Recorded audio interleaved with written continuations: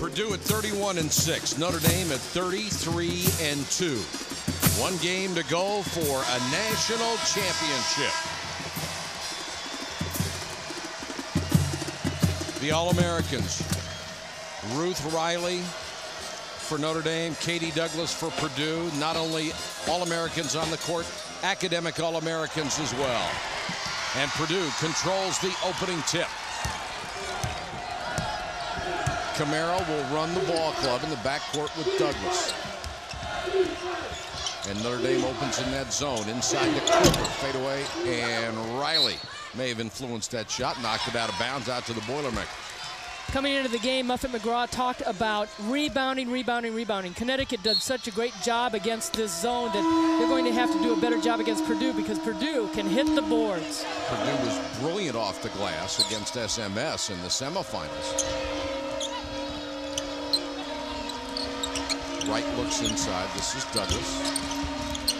Good penetration, but Niele Ivey, the St. Louis product, comes up with the steal. She has just tied the school record. And then the shot blocked by Cooper. Camille Cooper at 6'4 is going to have to play well tonight for Purdue in the pivot. These two teams played each other early on where Notre Dame won 72 to 61 in South Bend. And Cooper gets on the scoreboard first with a turnaround jump shot. Purdue obviously wanting to go right at Ruth Riley. Lob low to Riley. She's triple teamed. Douglas knocks it out of bounds.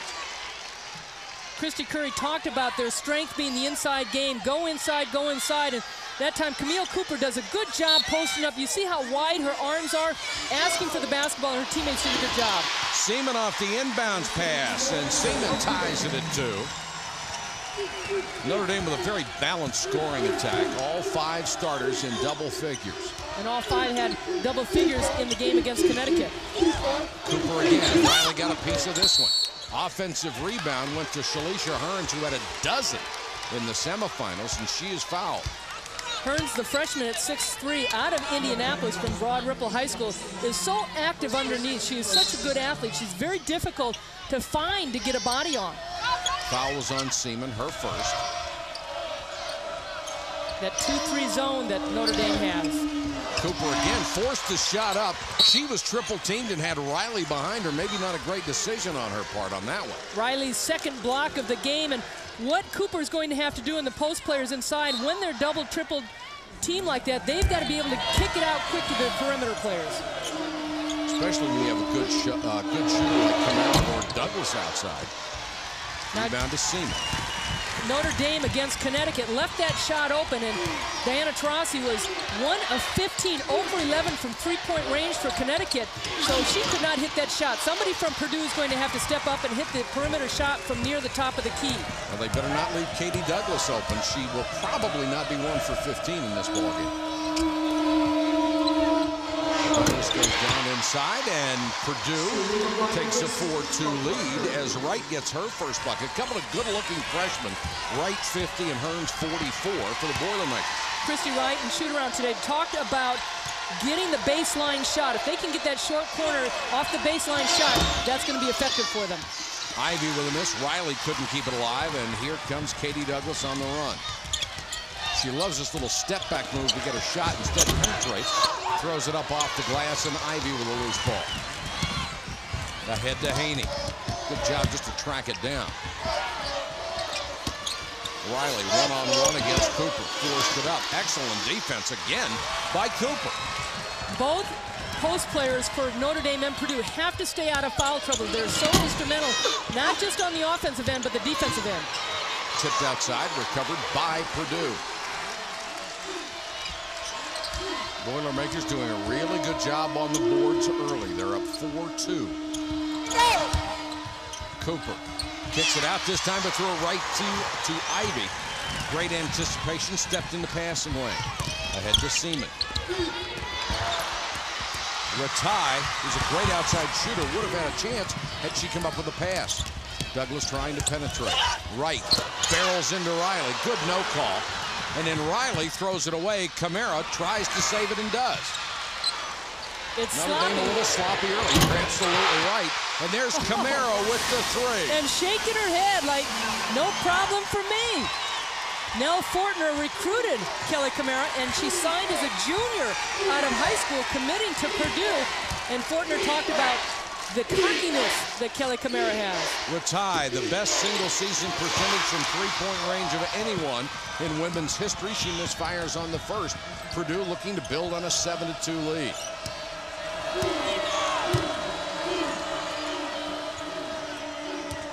Wright steps outside. Purdue playing with a lot of confidence right now. Douglas. That one spins out and Riley clears.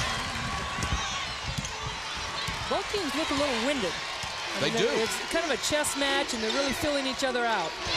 Douglas, great anticipation. Ivey turns it over. Wright is ahead, and she got it a bounce pass. What a pass by Douglas. And a good job of Wright to run the court. How about that? Katie Douglas with a great anticipation comes up with the steal. Look at that bounce pass to Wright, and Wright just filling the lane with her speed. So it's 9-2, and Wright will go to the line, the freshman out of Texas.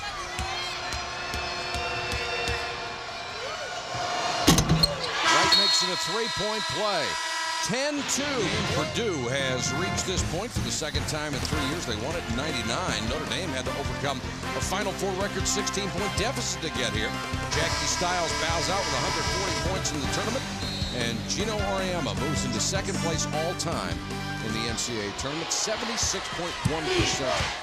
wins in his career. behind Pat Summitt. Notre Dame in the last three minutes and 30 seconds, 0 for 4 and three turnovers. And this is a team that is fifth in the nation, almost shooting 50% from the floor. and they're being out-rebounded dramatically, and Haney gets a bucket. 9 to 4 advantage off the glass for Purdue so far. Lead is down to six. A lot of people that haven't seen the game or at least haven't seen Notre Dame play, they stay in that 2-3 zone most of the time. It's not that they rest, it's just that they are so effective out of it with their size and they can protect Ruth Riley from foul trouble. Travel on Douglas. We've seen people make the mistake against that zone of getting too deep along the baseline. There's just nowhere to go. It also catches you up, it makes you play slower if you're a fast team that likes to get a quick shot or you want to get a transition going. Haney, nice one-on-one move. Couldn't make the shot. Riley with a follow, and she's fouled. And Cooper had her on the wrist. I wouldn't be surprised if Muffet and McGraw talked to Ericka Haney, number three for Notre Dame, and said, you've got to be more aggressive because Katie Douglas is guarding her. Kristy Curry told me before the game that she was going to put Katie Douglas on Haney so she could help out. And that's where she had come up with the last steal and how Purdue had scored on their last possession. Riley, even at 6'5", an exceptional free throw shooter, nearly 80%. Only needs six rebounds coming into this game for the first player in Notre Dame history to have 1,000. And she already has three. That would be a new school record, which currently stands at 999. A lot of records for these Notre Dame seniors. You can see how the zone is really spread out, but then they sag down low to clog things up. That's where the perimeter players have to find some seams on that dribble penetration or look for some shots. That one was tipped out of bounds. 11 seconds on the shot clock for Purdue. Douglas to inbound. Gives her a chance to run the baseline against that zone. Shot clock now down to seven. Putting it on her shoulders, and Ivey did a great job. Ties her up. Possession arrow will give it to Notre Dame. But it's good to see Ivey moving that way, and now Douglas is hurt because Ivey had her legs cut out from under in the semifinals. In the Connecticut game, Niele Ivey hurt her ankle, but also against SMS, Katie Douglas had hurt her right pinky. She said it was pretty sore before the game. I talked to her, I talked to both players about their injuries. They said they're ready to go, but Katie Douglas kind of holding that left shoulder. Niele Ivey just kind of dropping down on her. Douglas already has three rebounds and four assists in this game. And Douglas and Wright did such a good job on Jackie Stiles, the leading scorer in NCAA history. The Wade Trophy winner. They held her under her average of 30 points. Siemon just made a beautiful move but couldn't finish. And Kristy Curry wanted to foul on Siemon as she went for the uh, rebound. Jackie Stiles, the Wade Trophy winner, and Ruth Riley, the Naismith Trophy winner for Player of the Year. The ball movement, right, left, alone. She's got the range on that shot, and Wright knocks it down. 51% on the year. Wright already has eight points. 13-5, Purdue. Riley down low, double team, forced it up, can't get it. And either Riley or Siemon reached in and picked up a foul. It's going to be Riley, her first. Ratay is going to come back into the ball game for Notre Dame, and Riley will get a rest here. We saw in the semifinals, Muffet McGraw has no problem sitting down her star center for long stretches if she has foul trouble or not playing well. And against Connecticut, she did sit quite a while in the first half, and Geno Auriemma, we kind of misplayed his words, I guess, when he went off the, the court at halftime saying, well, we're still in trouble because we're only up so much, and Riley and Ratay and Ivey haven't done anything. And Riley was out of the game. Douglas for three. 16-5 Purdue. And they are playing like a team that is supposed to be favored instead of the underdog against the Irish. And Muffet McGraw wants a 30-second timeout to kill the momentum. 12.42 to go, first half.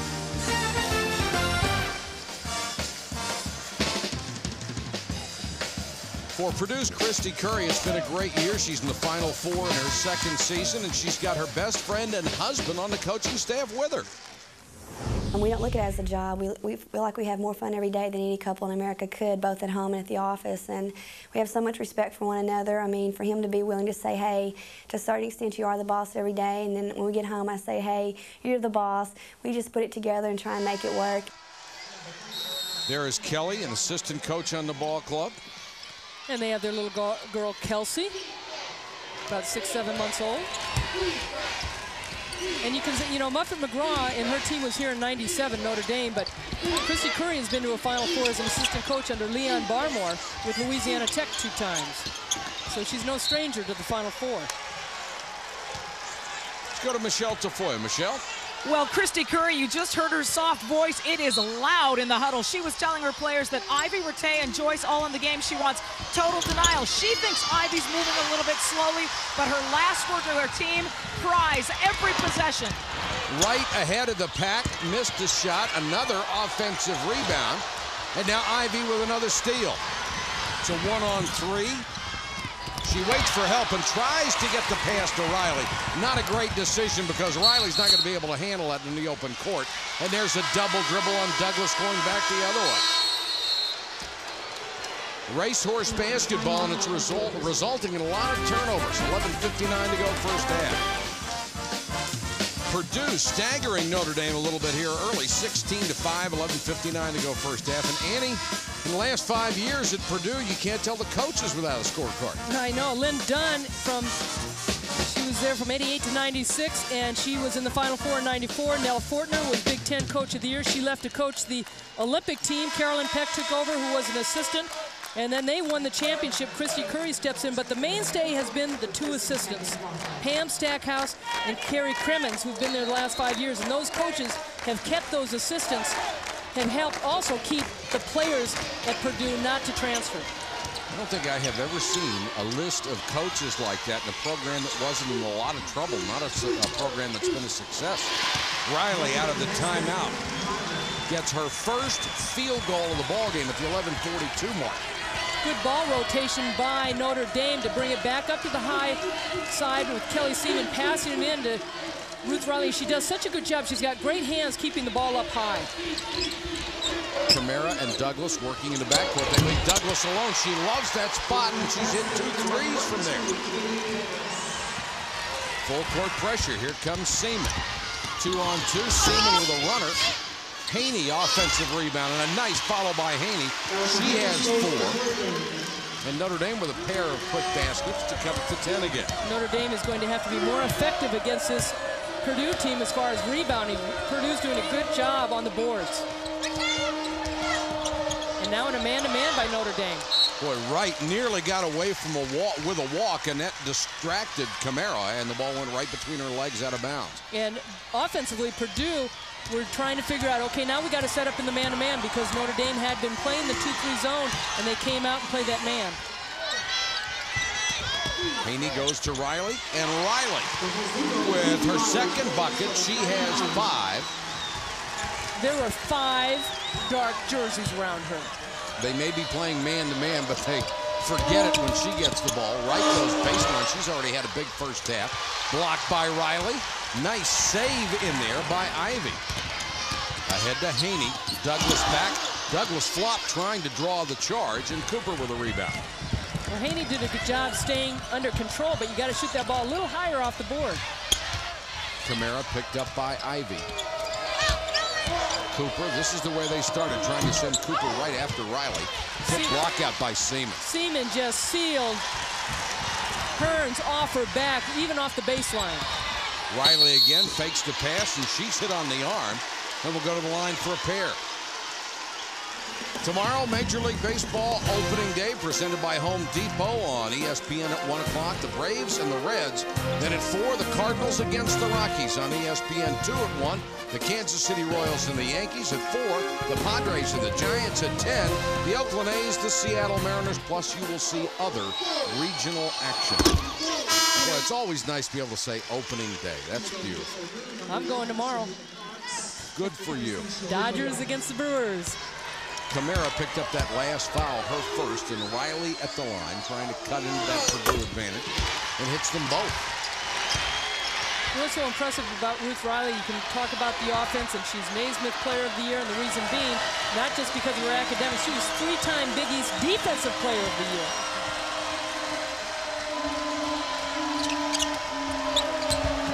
Parks into the ball game, tries to enter the lane and can't.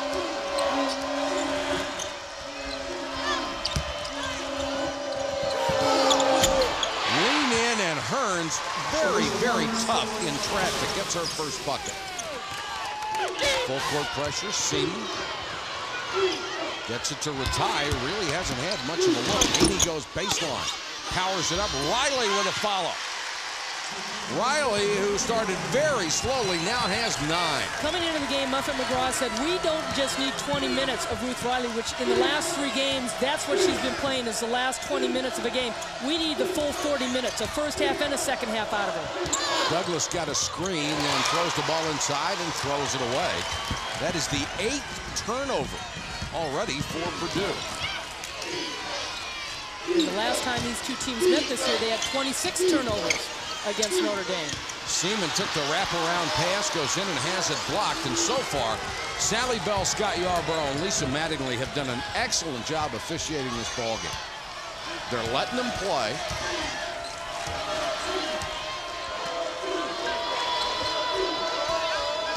Eight twenty-seven counting. Douglas, same spot that she hit the first two, misses this, and she can't chase it down.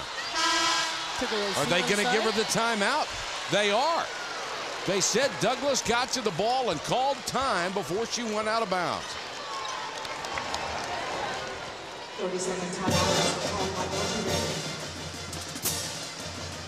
Muffet McGraw talking to Ruth Riley as far as that hustle play.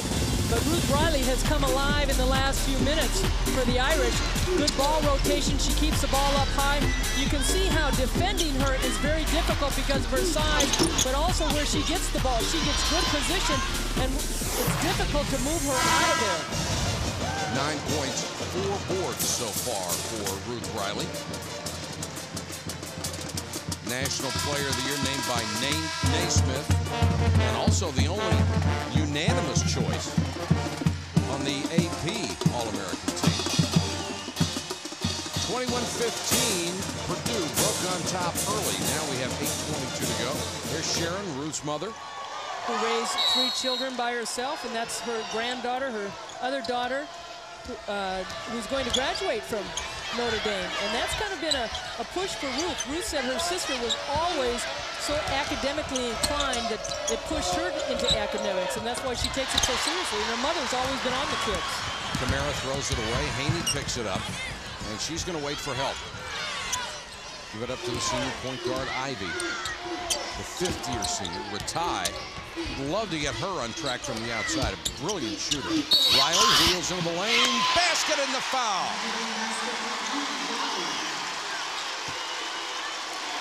Well, if The you're gonna- foul will be on Cooper, Andy. That's two. If you're going to come to play, this is it. Ratay does a nice job getting the ball inside because it's a one-on-one situation. And Riley got hit early in the face, and that's where the foul was. But they call it on Cooper, as you said, two fouls. And Ruth Riley is really demanding the ball. Now, you talked about other players getting involved for Notre Dame, but Riley's doing it all right now. Riley completes a three-point play, and it cuts the lead in half. 21-18. Riley already with a dozen. And here's the story so far statistically.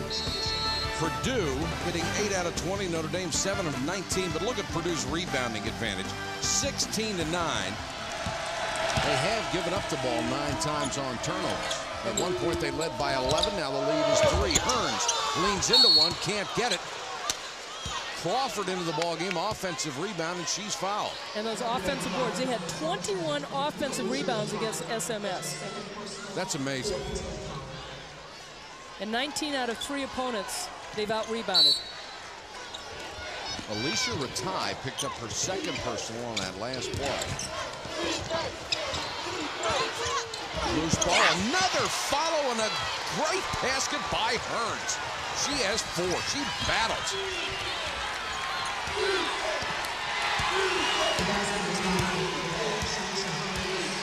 Purdue in their own zone now. Riley has scored the last nine points from the Irish. They're trying to counter now, but there's always help behind. And Haney steps in the lane to hit a jumper. She has half a dozen. The lead's back to three. And this is the chance that Kristy Curry's taking. Haney averages almost 11 points a game, but she's not the big-time scorer that Notre Dame has on their team, so they're allowing her to get some easy shots. Crawford caught up in the lane and just throws up a prayer, and they bailed her out with a foul. She was in no man's land there.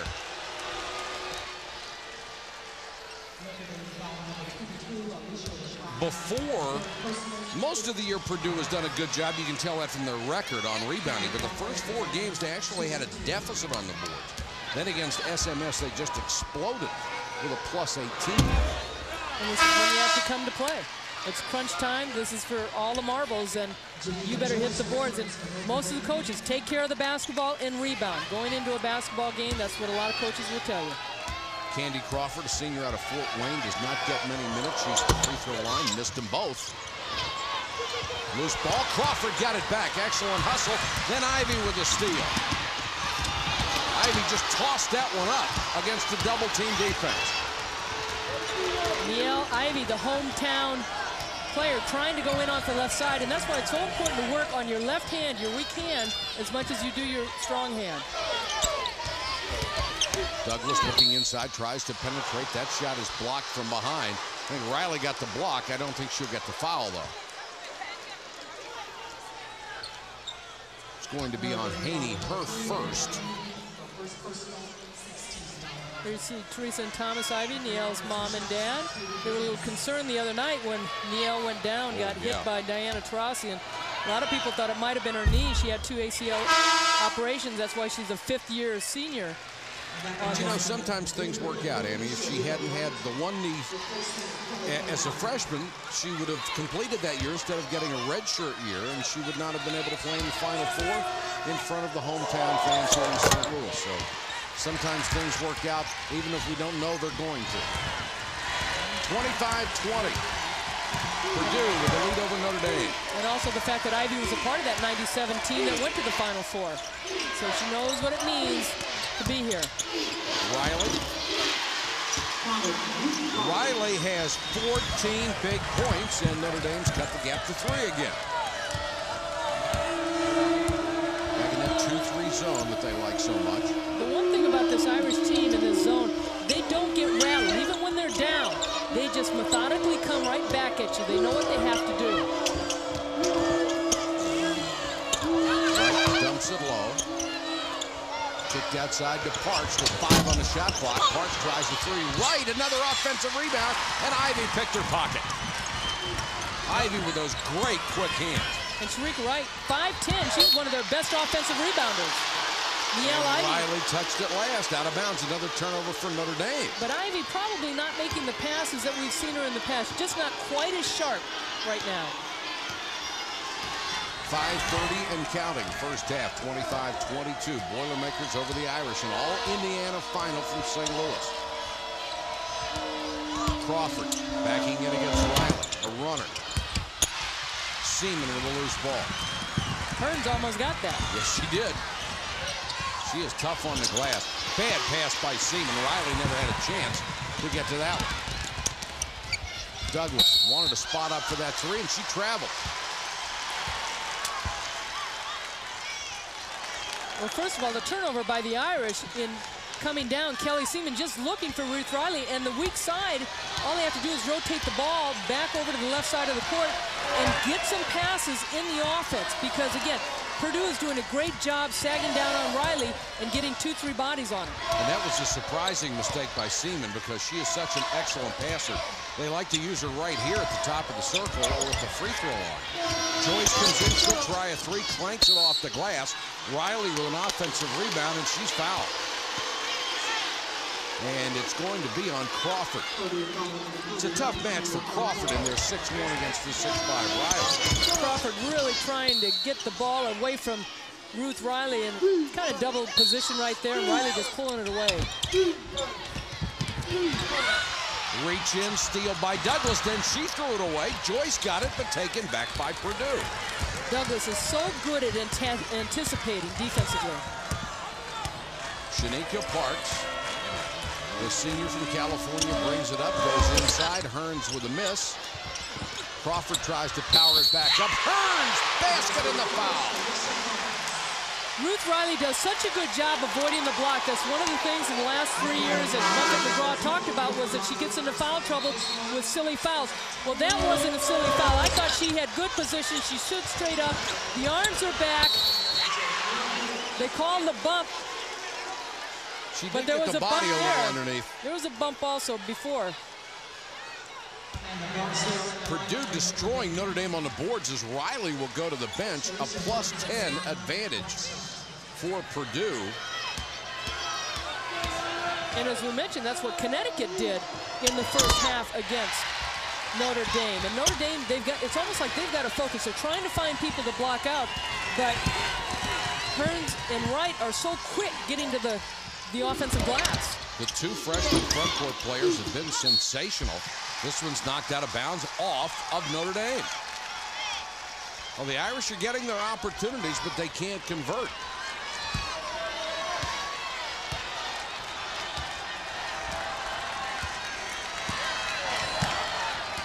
You say, who does this tempo favor? Well, both these teams are high-scoring teams. And Purdue has lost more in low-scoring games than Notre Dame has. Hurns working inside, missed a shot, tried to get her own rebound. Cleared by Barksdale for the Irish. I love Hurns' quickness going after the ball after a missed shot. Joyce to Siemon. Ivey is the cutter down the lane with the left hand. Got it. First bucket for Niele Ivey. Ivey had 21 points in the big game against Connecticut. She was 3 of 5 from three-point range. And that was her first 20-point game since the third game of the season. Notre Dame had three players around that loose ball and managed to kick it out of bounds. That's the way the first half has gone for Notre Dame. They are down by four. Can the seniors and Niele Ivey bring them from behind? Ruth Riley says that she is motivated to get better every day. She has done that, and her numbers have shown it. Anna Mike. All right, thank you, Pam. And that's the way you get better is hard work. And a lot of kids don't seem to realize that, but uh, the ones that do end up being, well, maybe here in the Final Four.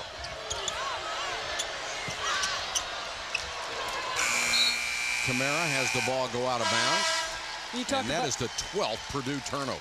Carol Owens in her sixth year as an assistant with Notre Dame. She played at Northern Illinois. I had a chance to do some of her games, and she's been kind of a mentor to Ruth Riley. And she said she took Ruth to go see Michael Jordan's to the max. movie. And there's a line in there that MJ talks about saying, I want people to come see me. If that's the first time they've seen me, I want to be able to perform to the best of my ability. And Ruth Riley really took that to heart, saying that's what hard work is all about. Ivey misses on the three. That would have gotten Notre Dame within one. Douglas looking inside for Hurns, who now moves out with Siemon on her. Douglas with an excellent crossover dribble. Lean in and got it. Siemon wanted to draw the charge, but Douglas knocked it home. 30-24, Katie Douglas in double figures with 10. Again, we talked about the versatility that she has. She's also left-handed, and a lot of players have a difficult time, even though they know she's left-handed, guarding. Ivey down the lane with the left hand with a miss. Haney goes for the offensive rebound, and she's tied up. Possession arrow will give it to Notre Dame. This year, Katie Douglas is averaging less minutes and less shots, but and she's scoring less. But in the tournament, she has picked it up because she knows she has to lead this team in scoring. Haney around a nice screen. Missed the shot, though. Rebound to Barksdale. The one thing, uh, Mike, I've really Check liked about, Crawford. about both these teams coming in, even though you've got, quote, your superstars, Douglas and Riley and Ivey, it's still about the team. All these players about the team, they're all very humble. They all give credit to their teammates, and that's basically why they're here. That was knocked out of bounds off Notre Dame, and the Irish not hanging on to a lot of loose balls, and Purdue is. Wright, slashes into the lane, had it partially blocked from behind, and here comes Ivey on the run. Got by Komara, off to Simon, oh, or Siemon, and she missed a shot. Had a two-on-two. Siemon had a perfect look at the layup, couldn't hit it. Komara has that one go off her knee. Purdue maintaining possession. Crawford to Douglas. Douglas backs out for three, one of her favorite moves, and can't hit it. I was talking to Theresa Grentz, the Illinois coach, and they played Purdue, and she said, you know, sometimes it's not, Douglas is not pleasing to the eye in the sense that she doesn't look like a great ball player, but she always does the little things like a Larry Bird. She knows how to get the shot off. She knows how to get rebounds. She plays great defense. What's very pleasing is to look to the, at the stat sheet after the game. Ivey short on the three.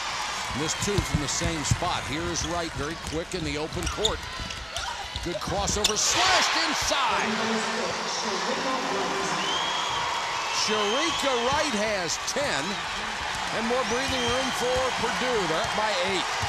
Coming into this game, we talked about the freshmen being an X factor, Hurns and Wright for the Purdue Boilermakers. Got a 16-second difference between the game clock and the shot clock. Seven on the shot clock. Siemon kicks it to Ivey. She has to force a 15-footer, but got the roll. Ivey with only her second basket after a 21-point performance in the semifinals. And now Purdue can hold for the last shot.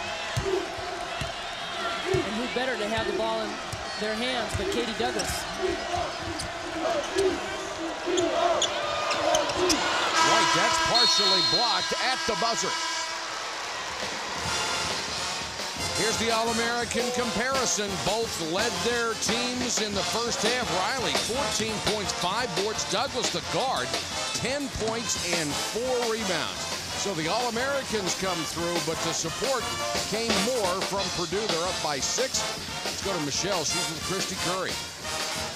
Very much, Mike. You guys rebounded so well, and your freshmen have been playing so well. What's gone effectively underneath? Well, you know, we need to continue to box out and do a good job on the boards. But we've got to do a better job inside of really stopping Ruth and then, you know, coming back out. So I think we just got to continue to pound it inside and really do a better job defensively at the five. But defense is going to win at the second half. we got to come back out and do a good job with that. Well, you started out doing very well on Ruth. She was slow and then broke out. What did work on her? Well, you know, we just need to bring more help, and I think our help kind of went away when we were doing a good job, and we didn't go back to what we were doing to begin with. But we'll continue to come back out and make some adjustments at the second half and try to let our double team come a little bit quicker. It was getting a little slow there toward the end of the second half. Coach, thanks very much. Good luck. Thanks. Mike, back to you. All right, Michelle, thanks very much. One of the stars, freshman Shereka Wright, 10 points first half as Purdue has the lead. Robin, back to you.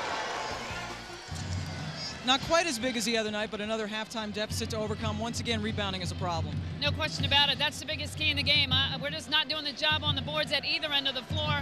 Not shooting the ball particularly well. We got to get some second shots. Alicia Ratay, 3,000. You have no three-pointers. That also was obviously a problem. Well, I think she'll be fine in the second half. She came out a little bit tentative. Needs to look to be a little more aggressive. How does Neil look? Looks a little tentative from our end. She's a little tentative, I think, defensively, but offensively, I think uh, maybe it's affecting her shot a little bit from long range. But I think she's doing a good job. Thanks. All right, Pam, thanks very much. Purdue with the basketball and the lead, and Ivey reaches in with another steal. And you saw that neither team is really shooting the ball very well.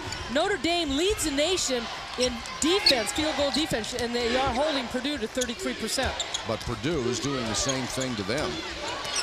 Well, the biggest thing, too, Notre Dame is number one in three-point percentage, shooting 51% in the NCAA tournament, and they are 0 for 5 in that first half. And Ratay has only had a couple of looks overall, one from three-point range, and they don't appear to do a whole lot to get her screens and open opportunities. She's got to do it herself. There's the screen from Siemon, but she's caught in the double team and then throws it away. Nice job by Riley to get it back. Forced it up as the shot clock was expiring, and Riley now has 16. That was a heck of a play. Nice roll. Great awareness on her part.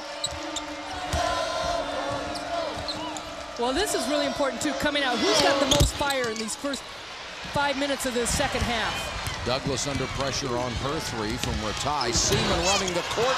Got the ball, can't hit the shot. Fight for the rebound. And here comes Katie Douglas. She just does it with such ease. There's such a poise about her. There's a little bit of arrogance, and you have to be. That When you're that good a player, you have to have a little toughness and a little self-confidence, whether you want to call it cockiness or arrogance. She has tremendous athletic grace when she has the basketball. Wright, trying to get around Ivey, and right there is Riley.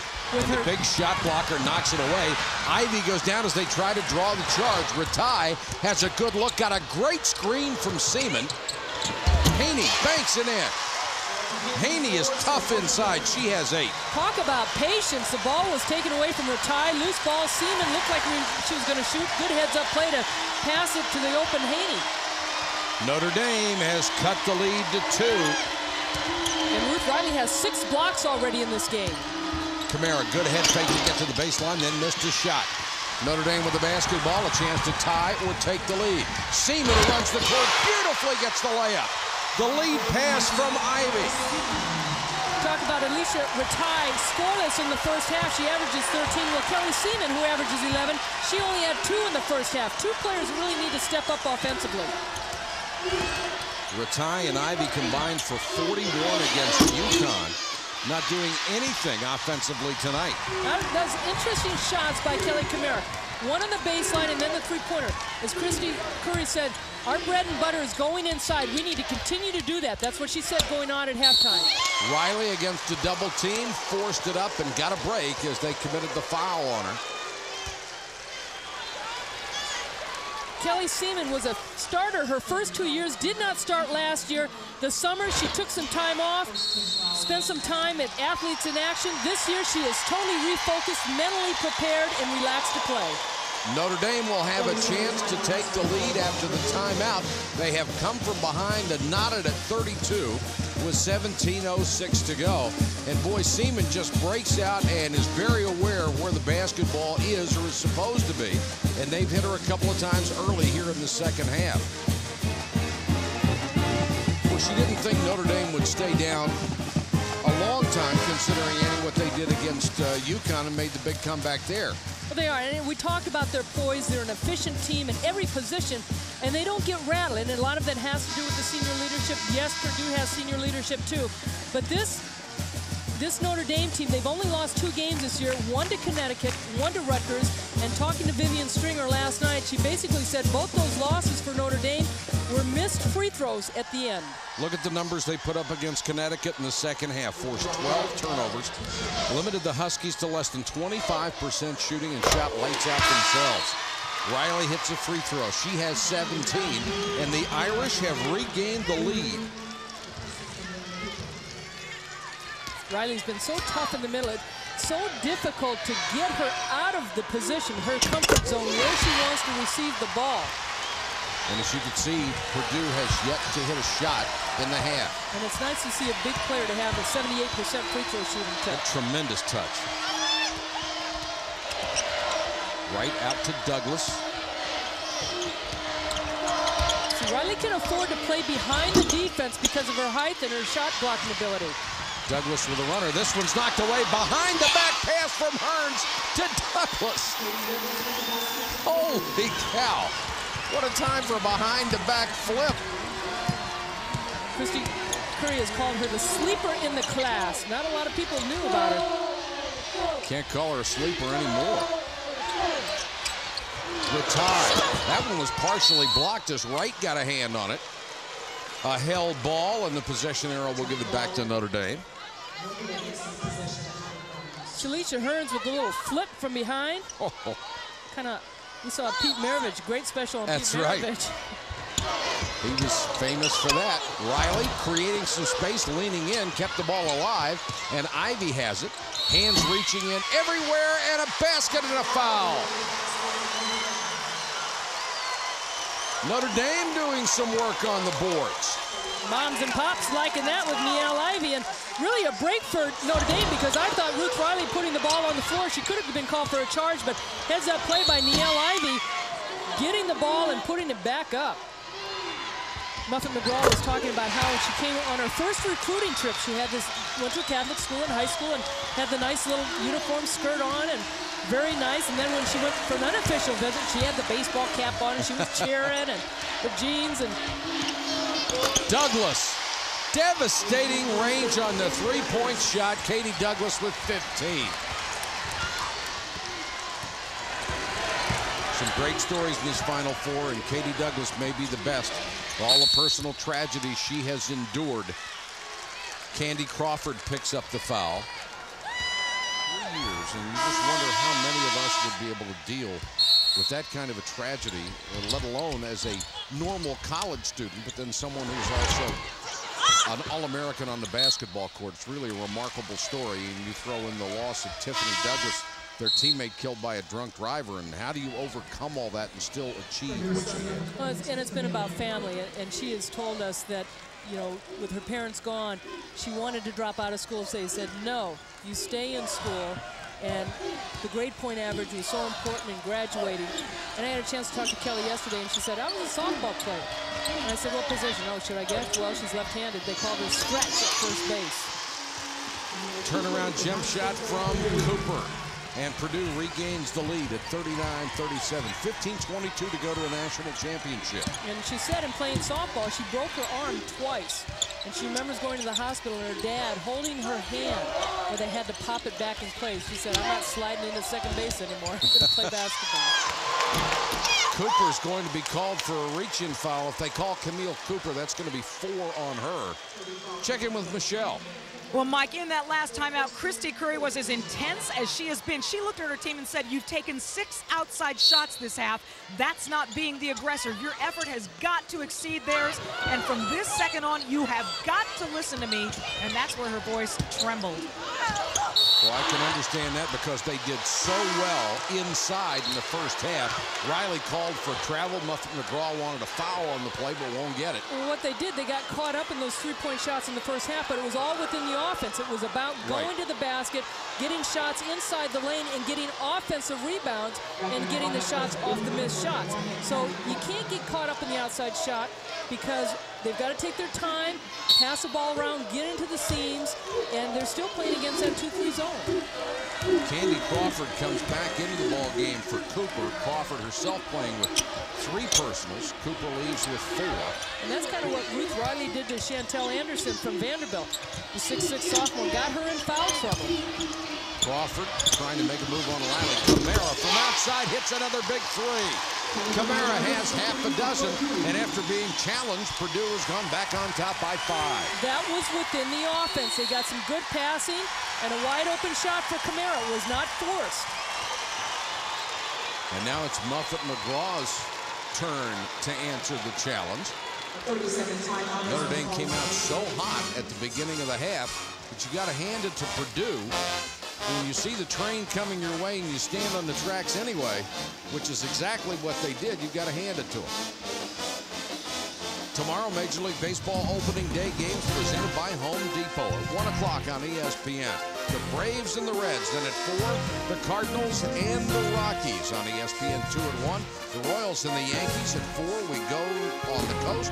The Padres and the Giants. And at 10 o'clock, the A's and the Mariners. You'll also see other regional action I'll be watching that uh, Cardinal ball game. It's nice to drive down Mark McGwire Highway when we're in St. Louis. That's right. 42-37, an 8-0 run for the Boilermakers to regain the lead. Been a game of streaks so far. I'm curious to see how the Irish get Alicia Ratay involved in the offense. Try to get it inside to Riley and can't. Ivey now gets it to it, double teamed and fouled from behind. And what Notre Dame can't get caught up in is just standing around and watching Ruth Riley and pass the ball inside. The perimeter players have to move a little bit more, and Ratay's one of the players standing around. Well, the big problem for Purdue right now, Crawford just picked up her fourth foul. Cooper is already on the bench with four. Inbounds to Riley. Wheels into the lane. Realized she was double teamed and kicked it outside. Siemon saw the opening down the lane and put it in. I said they saw the opening because Ruth Riley just cleared everybody out. Bodies everywhere. Siemon treaded lightly down the lane and got the bucket. Komara had a look for a second. Crawford kicks it back out to Wright. She's a good penetrator. Komara into the lane. Nice dump down the layup in the basket. Beautiful pass inside to Hurns, who now has nine. She draws the foul.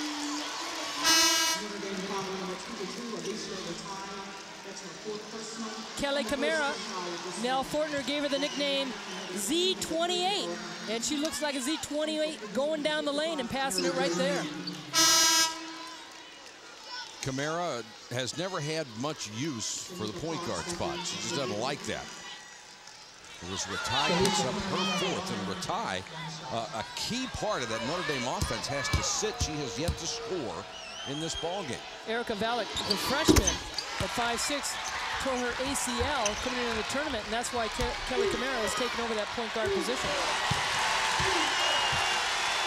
And she's one of the players that was on the championship team in 99.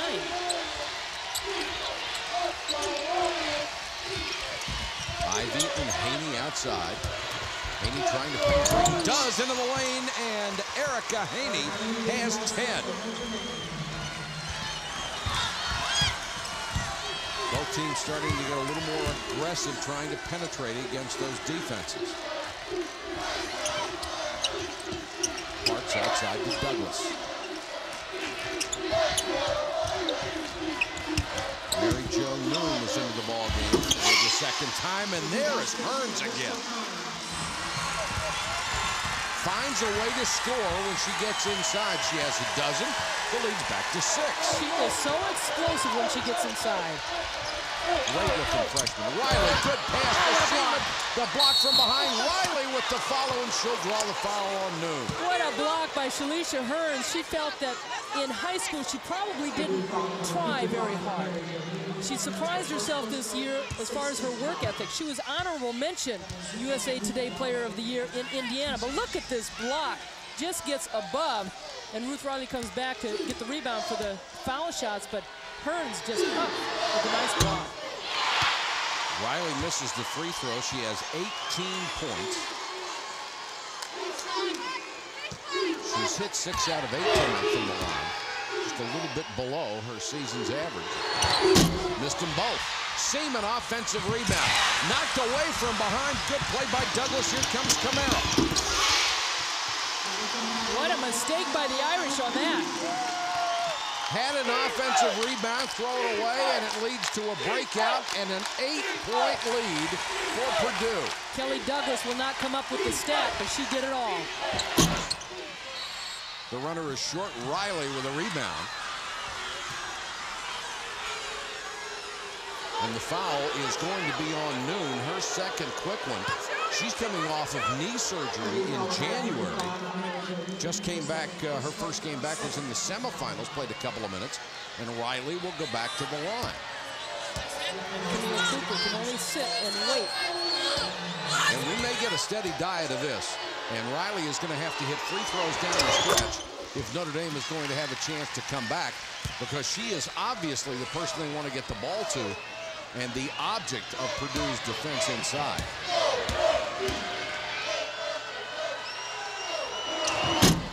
Riley one out of two this time. Siemon kept it alive and Haney tipped it back to her. Notre Dame doing better work on the boards in the second half. Siemon along the baseline to Ivey.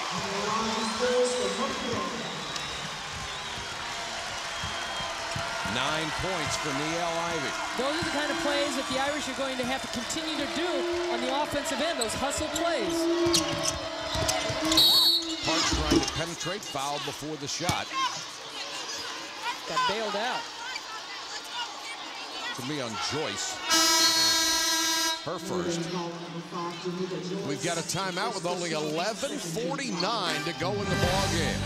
Notre Dame trails Purdue 49-44. Notre Dame trailing by five. I'm here with sister Sheila O'Neill, who is Niele Ivey's principal at Cor Jesu High School. She says that you are a huge sports fan. Is it tough watching this? Yes, it's really tough. I know how hard Niele has fought to get here, so we're hoping that she brings it all the way. Uh, what kind of a kid was she in high school? She was a great kid. She was bright, she worked hard, but she had a lot of heart and a lot of soul, and that's what we love about her.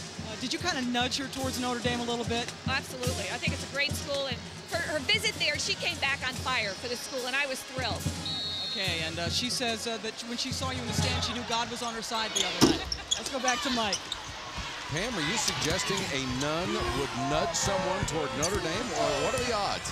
Well, you gotta love the nuns because you go back to the early 70s, Immaculata won three championships, and the nuns, they got ruled out where they couldn't bring in the pots and pans. Theresa Grentz and Rene Portland were part of that team. And Theresa Grentz coach at St. Joe's, Coach Muffet McGraw at St. Joseph's. Teresa went on to Rutgers, Theresa Grentz. Rene Portland stepped in as the St. Joseph's coach. Then Jim Foster stepped in as a coach who's now at Vanderbilt. But Muffet McGraw came back and was an assistant coach for Jim Foster, who is now the godfather of Murphy, her son. It's all interconnected, isn't it? shot clock inside.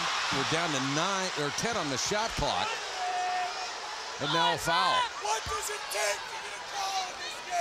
The big plus in the second half for Notre Dame is they are out rebounding Purdue 11 to 2, where Purdue had a 12 rebound advantage at halftime.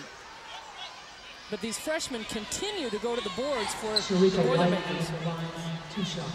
Last foul was called on Haney, her second. So Wright goes to the free throw line where she is a 66.7% shooter. She's the one that stepped into the starting lineup after Valek's injury. And she got a big assignment in the semifinals. She started defensively on Jackie Stiles. It was one of the big reasons Stiles was held well below her average. It was by committee with Wright and Douglas, but they did a fabulous job. And Wright just never got tired, it seemed like. Wright hits the second free throw. Purdue by four. Court pressure. Siemon back to help. Gets it up to Joyce. Joyce and Ivey working in the backcourt now. Siemon outside, setting those screens, and a nice step out by Douglas, but a reach in on Katie Douglas, her first personal. At shoot around, Purdue really worked on that step out, that high pick that Notre Dame sets. They like to, Purdue likes to step out and try and stop that dribble. Douglas got called for the foul because she wasn't set.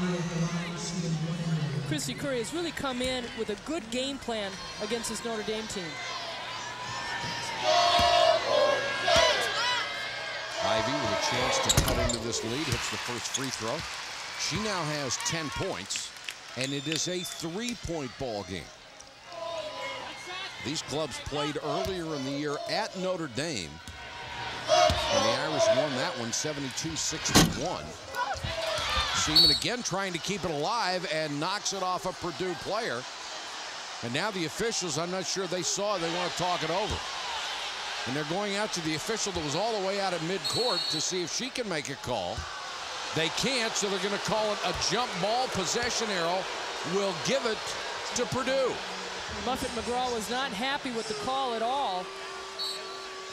All three positions out a position to be able to see that.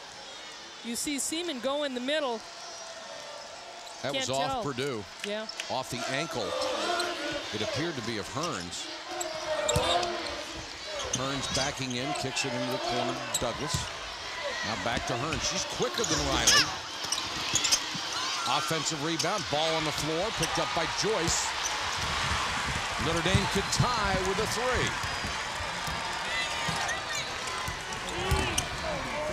Joyce, way off. Douglas with a rebound. Has Wright ahead of her. Instead goes to Komara. And she kicks it back out. Three, top of the circle, halfway down and comes all the way back out.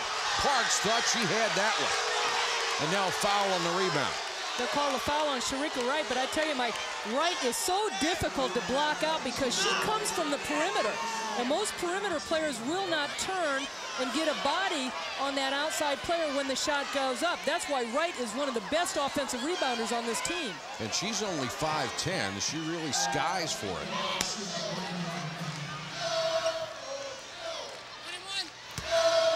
Camille Cooper still on the bench with under 10 minutes left to go, waiting for, Coach Kristy Curry to put her in. Haney hits the first, and Shanika Parks must be wondering what kind of curse she's under. That thing is in, halfway down, and back out for what would have been a big three. In and out on the second free throw. The lead now two. And we are under the 10-minute mark in the national championship game.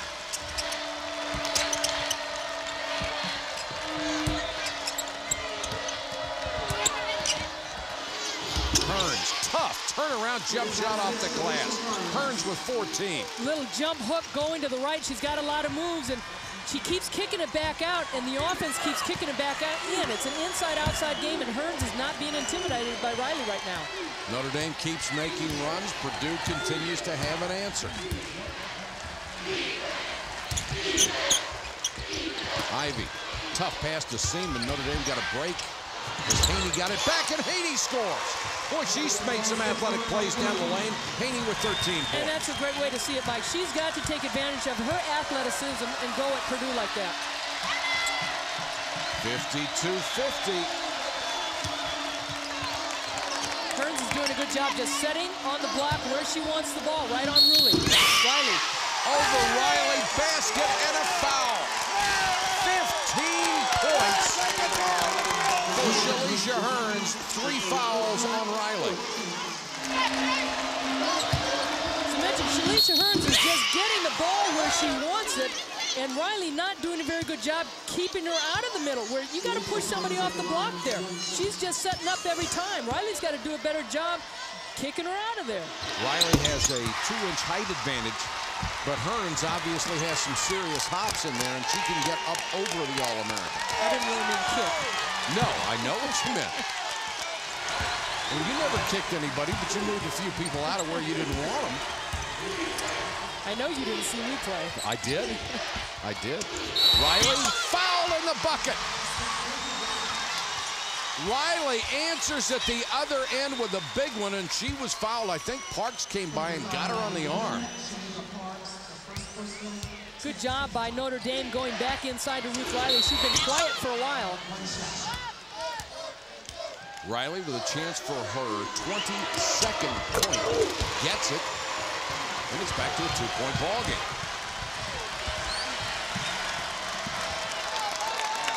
Riley already with a double-double. 22 points, 10 rebounds. Here's the double team. Loose ball taken away, knocked away again, and Wright recovers. Both teams have been taking advantage of some lucky bounces. Douglas, tough runner. The follow's partially blocked inside by Hurns, and then Riley picks up her fourth foul.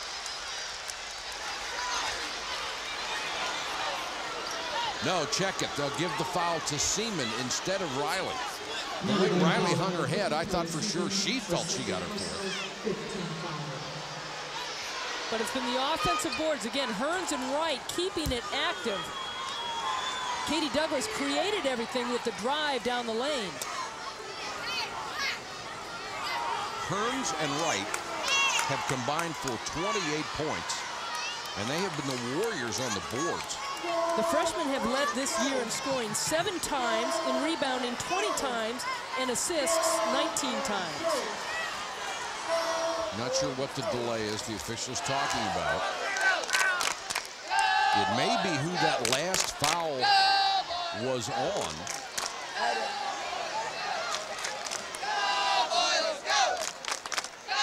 And we are told they are discussing uh, Muffet McGraw coming way out of the coach's box, and Krista Curry apparently did not appreciate it at that and said something, but that's what we're told.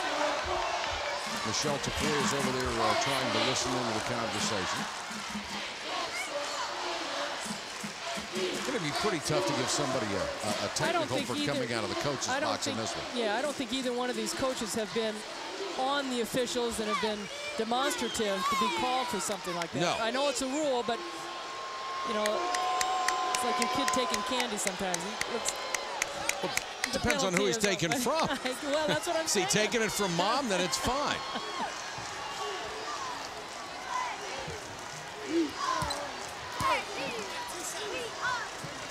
Well, we'll go back to the business of basketball and send Hurns back to the free throw line. Hurns with a miss there. She has 17 points. Her career high is 19. What a time to save your best game for the national championship. Haney will come out and Ratay will come back in. Alicia Ratay, the best long-range shooter in the country, has yet to score for Notre Dame. She set the single-season record in the semifinals, has her average up to 54.7% from three-point range. It's incredible. Not hit a three in this ballgame. But you know who's guarding her? Shereka Wright.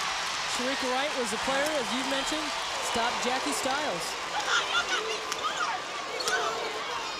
Let's go to Michelle Tafoya. Michelle, did you hear anything over there? Well, yeah, Mike, I did. From what I can understand, Muffet McGraw was upset because after an air ball was shot, she thought that the shot clock was reset. Clearly, as you see on the screen, it was well, it was reset right there. So that was her issue. Obviously, they kept it the way that it was. The fouls were called, nothing changed, but that was what Muffet McGraw was arguing. It had nothing to do with her stepping out of the coach's box. All right, thank you, Michelle. Joyce hits the free throw. We are tied at 55 and only 7.55 left in the game.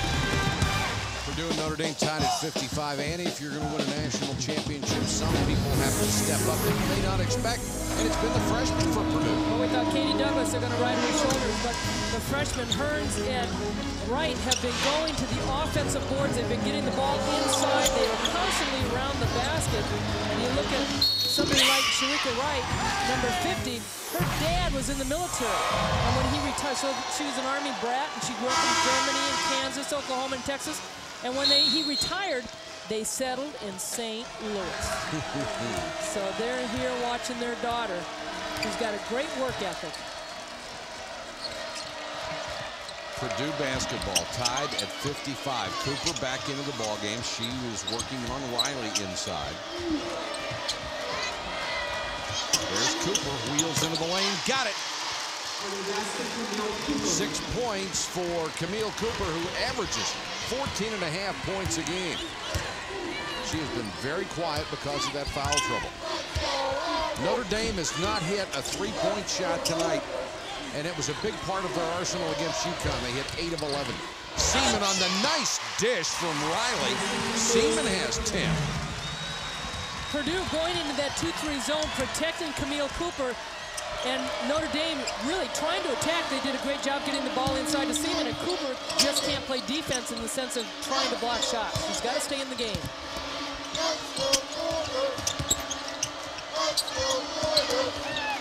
Right. tough shot in the lane and got the roll. Wright has 13. Got 11 points in the semifinal win that got them to the championship game. Joyce got the pass to Siemon. She kicks it back to Ivey for three. They still haven't hit an outside shot. Now, Siemon had the shot down low. She was on the baseline. Yes, Niele Ivey was open. She's been struggling from the outside, though. Reach in and a steal by Ivey. She is so good at that. Douglas is back, and Ivey will hold up. Nice oh. pass to Riley. Oh, was that nice? Ivey with a little hesitation to give Riley just that extra split second to turn, and she hit her perfectly. But where she hit her in the hands, Riley's right hand was way out. The defense was on her left side, and I can't believe Ivey was able to get her the ball. It was a great pass. We are tied for the seventh time. Under six minutes to go for the title. Wright left alone. Riley, all she can do is put her hands straight up with that foul, with those foul problems. With Ty back in the ball game, she has it to Joyce. Siemon's open. Sometimes she does not look for her shot. That time the pass too strong for Ratay. Niele Ivey looked like she was having trouble controlling the ball, and there you see Ruth Riley. Cooper just could not get to it, and again, with the four fouls, it's going to be difficult to guard Riley one-on-one, -on -one, but Riley's got three fouls also.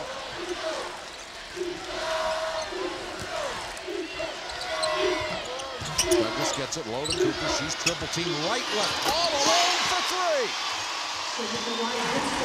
Wright is better than 50% from outside. She has 16 points, and Purdue is up by three. Ratay can't hit it. And we mentioned again, right coming out into the second half, how the Irish have led the nation in three-point field goal percentage. They don't have any. They are 0 for 9 tonight from long range. Cooper, tough shot. Siemon with another rebound. Boy, she done a good job on the board. She is in double digits in rebound. 4.41 each possession gets more and more important as the clock winds down. Riley, three years away from the double team, missed the shot badly. Now I'm surprised Riley did not go right at Cooper. She was intimidated and kind of fell back off that shot. And Purdue just kind of using the clock. The Irish look like they just not have a whole lot of gas this whole game. They had one fast break. Ratay reaches in and knocked away a poorly timed pass, and here comes Ivey back the other way. Both teams giving the other opportunities, that's for sure. Siemon, good catch, not to travel. The best long-range shooter in the country, finally knocks one down. We're tied at 62.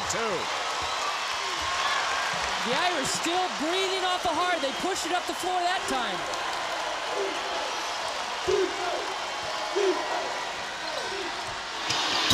A three for Komara. The rebound goes to Notre Dame. The Irish will have a chance to take the lead at the 336 mark. Shereka Wright was pretty upset with Kelly Komara taking that shot. Purdue can go ahead and be more patient in the offense. Lob low to Riley. Couldn't hold the ball. Knocked out of bounds out to Purdue.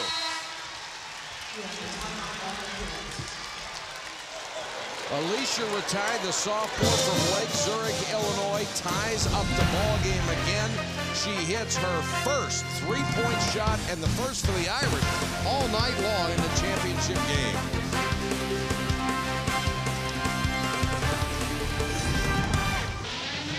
3.25 on the clock for a national championship. Notre Dame and Purdue tied at 62.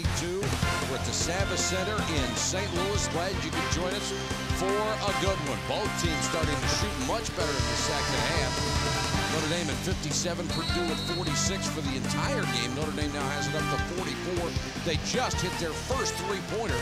Purdue's knocked down 7 of 17, and the turnovers are within two.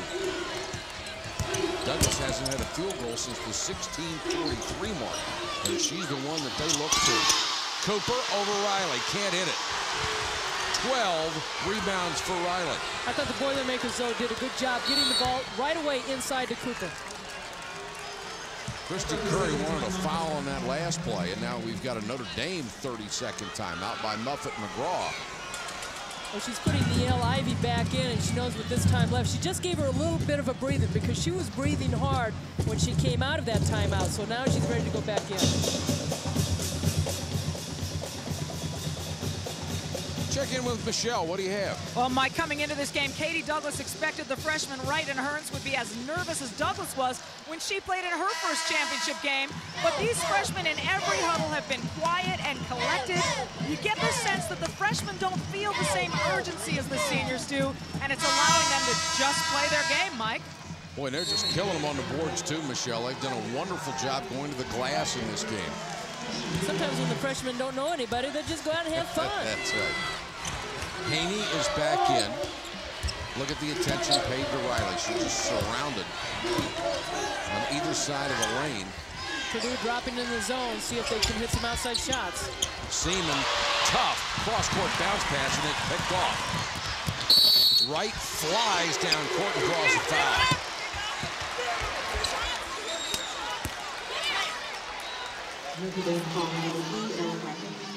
Great he picks speed. up the foul. That's her third. Great speed by Shereka Wright.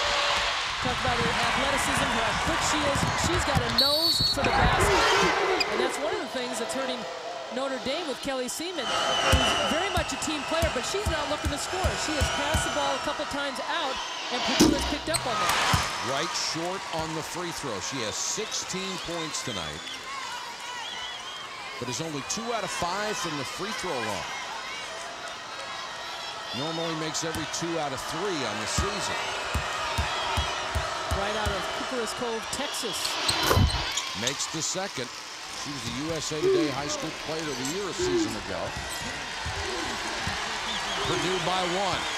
Approaching the two and a half minute mark. Ivey. Haney can't penetrate. Siemon again at the baseline. She goes for that cross-court baseline pass, almost thrown away by Ivey. Komara reached in and tied up Haney. What a play by Komara. And the possession arrow will give it back to Notre Dame, and that's why I hate that rule. There's a great defensive play, and she gets no benefit out of it. Kelly Komara just shows her strength also.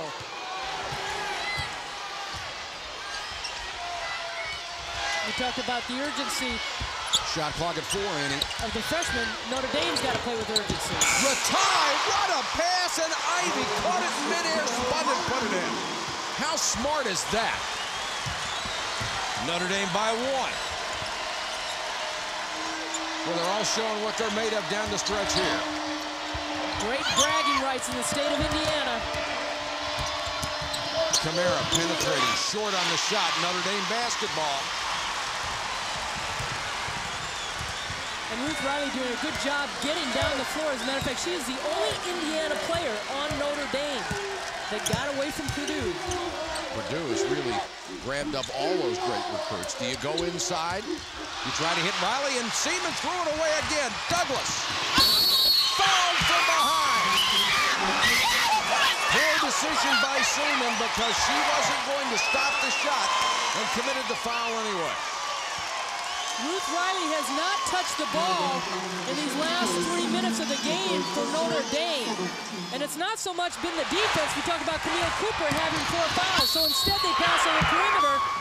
And Kelly Siemon has made some huge mistakes for the Irish. With Kelly Douglas, we talked about her defense. She's going to score points, but it's her defense that's been super in this game. Douglas with 17 points in both of her free throws, has a three-point play, and just like that, Purdue is back up by two. One, 18, and counting. Siemon has made so many good plays, and then the last few minutes has made some uncharacteristic turnovers. The tie. Needs that screen to get a shot. Riley. Got it. Tied at 66. Maybe last team with the ball wins. And Purdue wants a timeout to discuss the last 52 and a half seconds. Tied at 66. Notre Dame going inside to Ruth Riley. We had mentioned that she had not touched the ball in a long time. They go inside to the All-American, the Naismith Player of the Year. And she does a great job with the shot. Hurns coming over to help out. four Notre Dame players in double digits led by Riley with 26. There are three for Purdue. Hurns, Wright, and Douglas all have 17. And mom, it's got to be tougher on the parents. They're up in the stands rooting for their kids, and it's just so tight up there.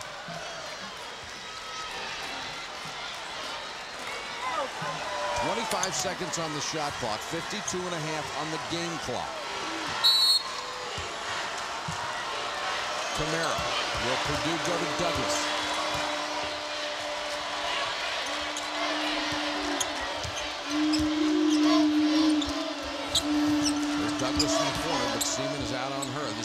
Clock is at 10. Wright to freshman, good baseline drive, double clutch. Somehow that one spun out. Beautiful drive, and she couldn't finish. Wright has consistently in this game had wonderful dribble penetration all night long against that Notre Dame defense. And right now, the difference in the game clock and the shot clock is only 1.9 seconds. So they can hold it basically for the last shot.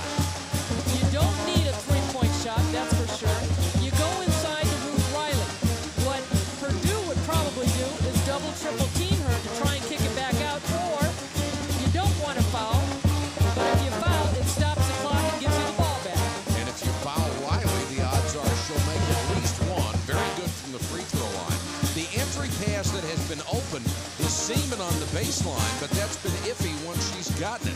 Here's the game reset. Only one timeout left for Notre Dame. Purdue has two. The possession arrow right now uh, favors Purdue. The numbers on Riley. Another double-double, hardly unusual for her. 26 points and 13 boards. Biggest play of the game coming right now in a 66 all-time. And it's a matter of taking care of the basketball. Ivey against Komara. Just want enough time for that last shot. Siemon lobs it low to Riley. And foul. With four seconds on the shot clock, 5.8 on the game clock. Well, that was a tough pass. Ruth Riley has great hands. She really does. And there's her mom, Sharon Riley, just knowing that her daughter is playing as hard as she can. But everybody on the Purdue team knew it was coming in. Katie Douglas trying to get it.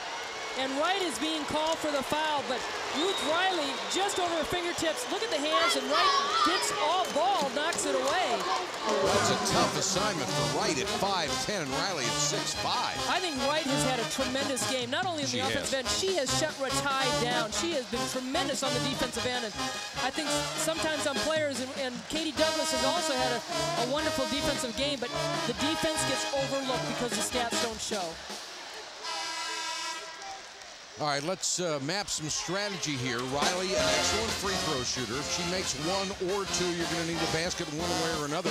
You'll have about 5.8 seconds to go. Who do you want to have the ball in her hands? Is it going to be Katie Douglas? Well, first of all, Riley is 8 of 12, so she's got to knock the shots down depending on the on the uh, rebounding. But I think Katie Douglas will want the ball in her hands. I don't think Kelly Komara is afraid to handle it.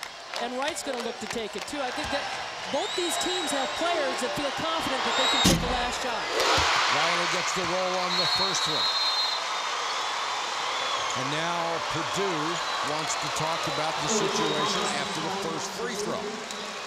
Now, what do you say as a coach here? You're talking about if they make it, we do this. If they miss it, we do that. You've got to talk all scenarios.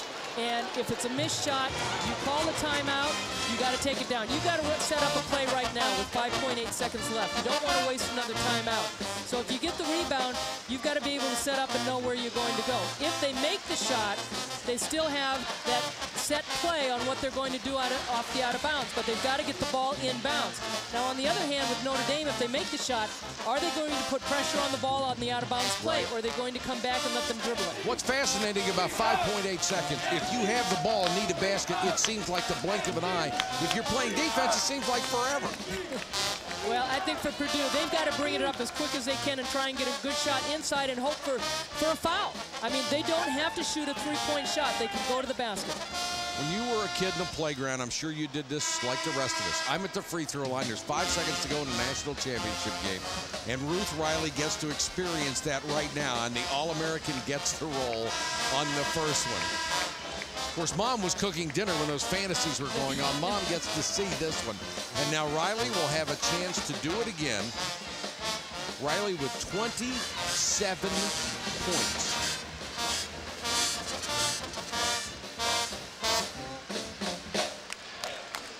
She has been a brilliant center for Notre Dame, and the only thing missing from her resume is a national championship. Got second one. It's a two-point game. Komara. Cooper to Douglas at the buzzer. Didn't get it.